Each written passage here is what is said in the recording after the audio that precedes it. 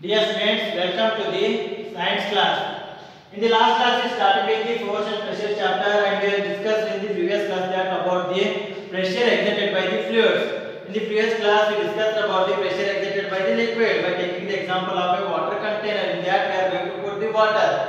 That water is going to act in the all the direction. That is nothing but on the surfaces of the wall. That means pressure is going to exerted on the walls of the container in case of the liquids. That is nothing but the water.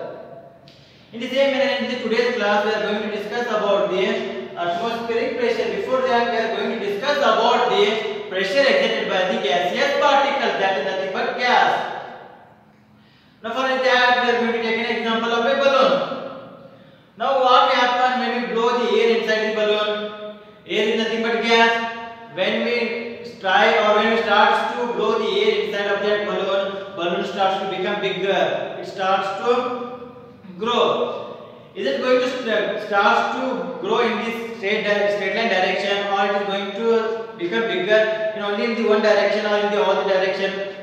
It is going to grow or it is going to become bigger in the all the direction. If it is going to grow in the all the direction, if it is going to become bigger in the all the direction, that means the gaseous particles which are exerting pressure on that balloon is then it is going to act on the all the sides that is nothing but on the walls of that container or on the walls or on the surface of that balloon right on that surface of the balloon if you want to know those things when you pinch or when you take a pin and pinch on that or put an hole on that balloon it is going to blow air from inside from the outside that means the pressure which is which is exerted by the gaseous particles will be act on the surface or walls of that container. It may be a house or it may be a balloon. When you take any other examples which contains air it is going to act on all the direction. Again when you take the parachute in the parachute also the gas which is going to produced by the produced by that uh, flame which is present in downward direction it is going to act on the walls of that container that is nothing but that for parachute. For that reason parachute becomes bigger so that it starts to float in the air. Right if something happens to that parachute the air which is present inside that parachute is going to go away. For that then it's going to fall down. Because of that air because of that air pressure pressure is nothing but force for unit area. Because of that force the parachute starts to blow or starts to fly float in the air above the ground. If there is no air if there is no air means there will be no pressure or no force. If there is no air and no pressure that means there will be no flotation of that parachute. That means directly are going to fall from that parachute to the earth. Right? You can take any other example that in that case the force will be exerted by the gaseous particles. Now next we are going to discuss about the atmospheric pressure. Atmospheric pressure before that what is atmosphere? When you see that earth earth is surrounded by an envelope. Earth is surrounded by an envelope of gaseous particles. Those gaseous particles mixture is known as air.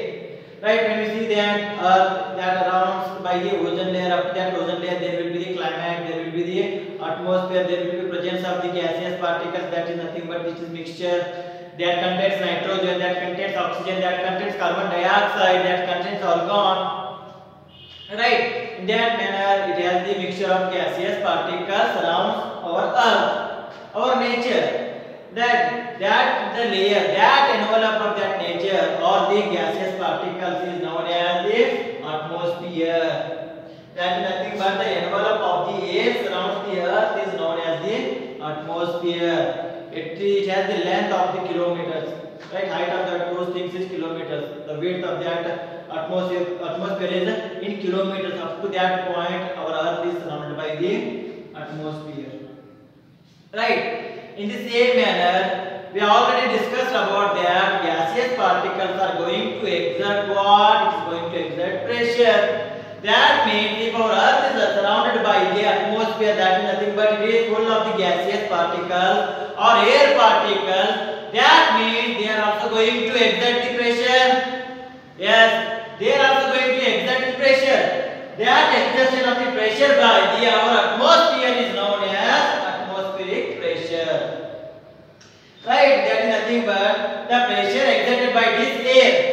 The pressure exerted by this air, that air is nothing but the air which surrounds the earth is known as the atmospheric pressure. Atmospheric pressure is nothing but the pressure exerted by the air which surrounds the earth.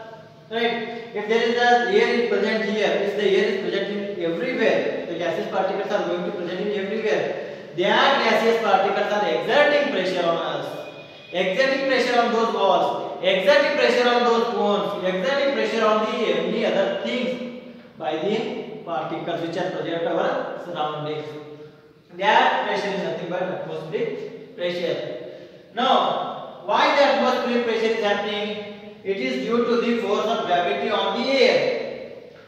Right? All the objects, while discussing about the force, we know that there is a non-contact force that is nothing but the gravitational force. The gravitational force is acting on the all other objects which are present on the surface.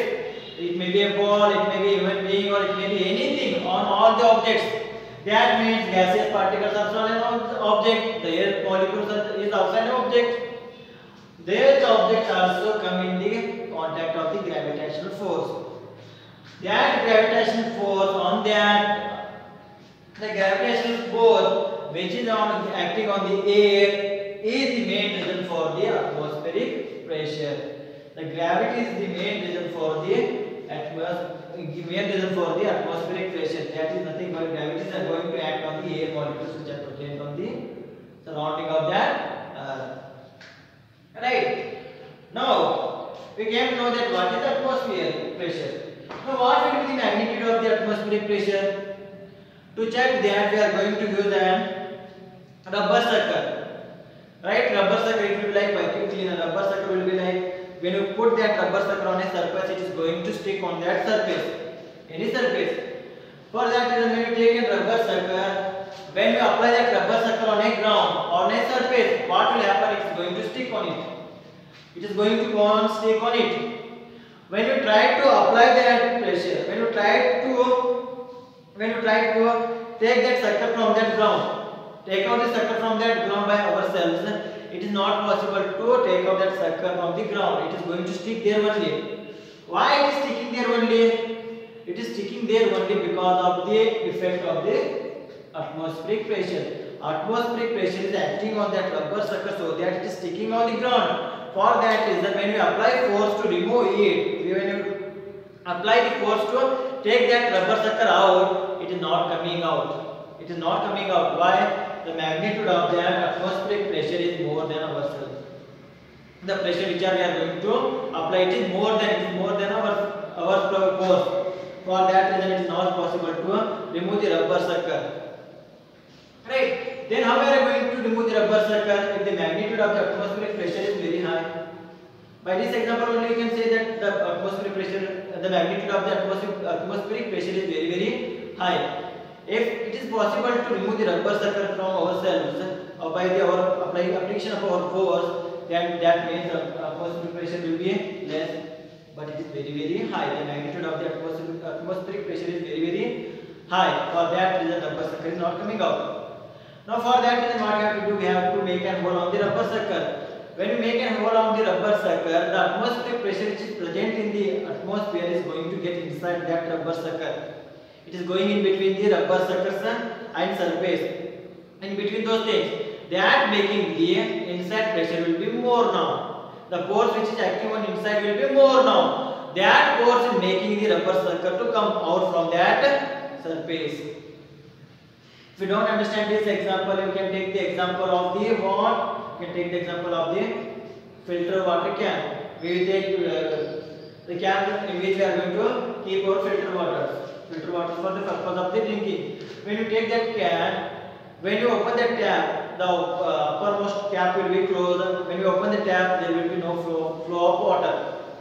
If there is no flow of water, what that means? That means that it means that the atmospheric pressure which is reacting on that gas container uh, that water container is, is more than that of that the pressure which is exerted by the liquids which are present inside that water container so that what you have to do we have to just open the cap. What will happen? The pressure which is acting on that gas container or that liquid water container is going to get inside that water container. That means the force will be more in the water container now when compared to the atmospheric pressure.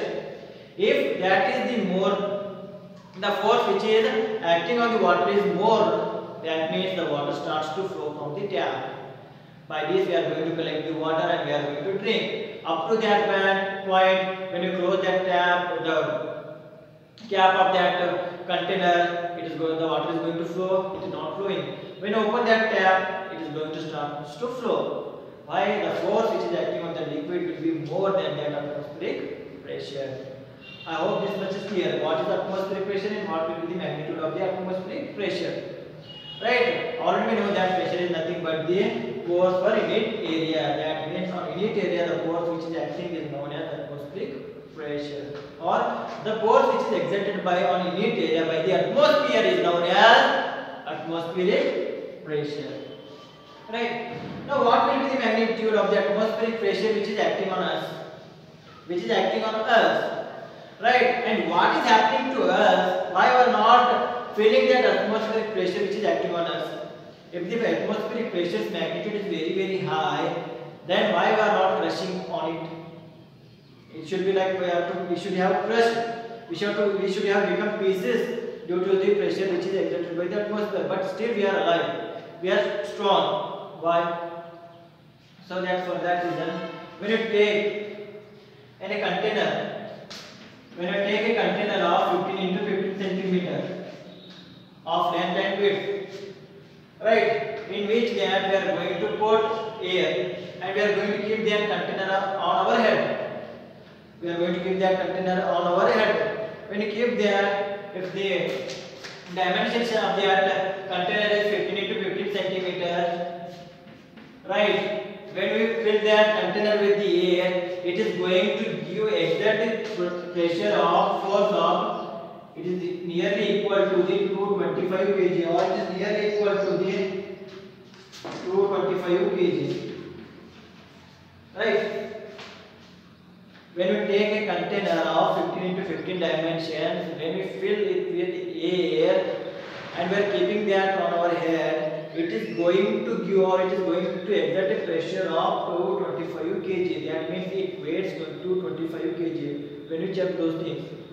Or it is nearly equal to the force which is nearly equal to the 2250 newtons.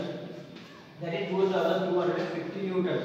The force which is exerting on our head by that gas container is nothing but how much it is equal to 2250 newtons. It is very very large. That is nothing but carrying a object which weighing 225 kg. That means when the wave, when we take that object which is weighing 225 kg, when we put that object on our head, that means we are going to crush. But actually we are getting crushed? No. That is what making us to resist that much of pressure or that much of force. That is nothing but our body. Our body is going to exert same amount of force or which is going to exert same amount of pressure which is equal to the atmospheric pressure. Right? Our body particles, our body parts are going to exert the pressure which is equal to the atmospheric pressure. For that reason, when you carry the that container, we are not getting crushed. That means the atmospheric pressure as well as our pressure both are equal. For that reason, there will be no effect of that pressure. So they are very human beings and very animals are still alive. They are not getting crushed because of the pressure which is going to exerted by our body. Right? I think this much is clear. Here the your chapter is over now. The force and pressure chapter is over. If you have any doubts, you can ask. In the next class, we are going to discuss about the exercise questions and try to solve those exercise questions which are present in your textbook by your own. In the next class, I am trying to solve those questions in the class. Up to that point, take care and thank you.